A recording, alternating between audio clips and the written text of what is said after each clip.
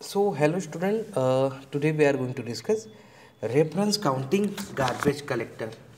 In last lecture we are already already discussed the things which are related to the garbage collectors and we also discuss reachability how the compiler operating system which are uh, able or responsible to reach that uh, garbage value code or reach that garbage block now reference counting garbage collector now consider a simple although imperfect garbage collector based on reference counting which identified garbage as an object which is changes from being reachable to unreachable.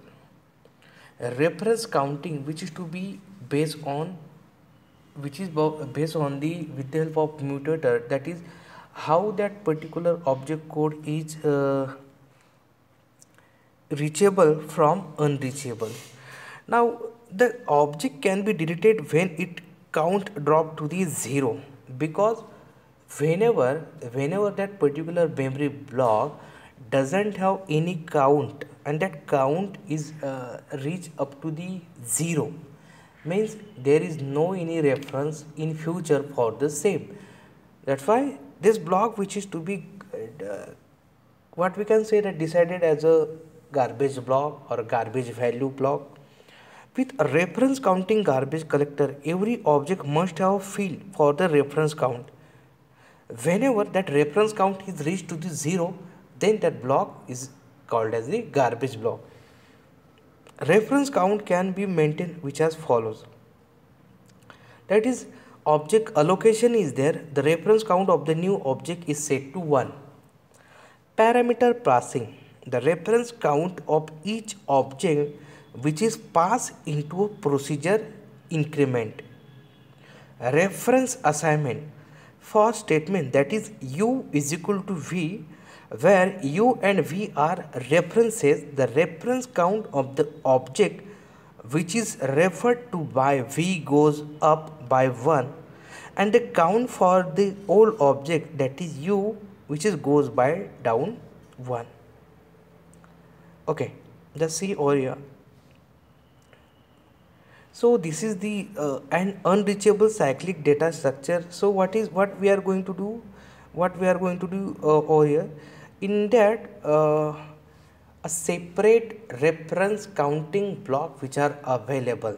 Suppose we have three objects that is x y and z. Whenever this block which are reachable or what we can say that which is related to each other at that time what we are going what we are going to do?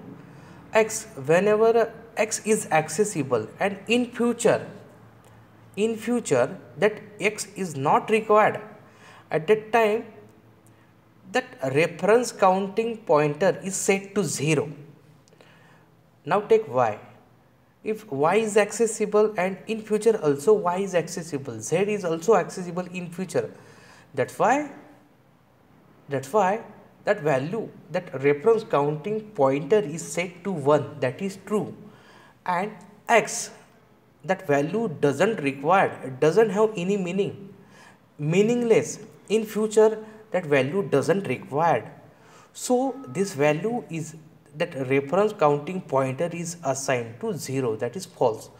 So in future this false value uh, memory block which is to be uh, sweep or reclaim. So thus in this way uh, the reference counting garbage collector collection work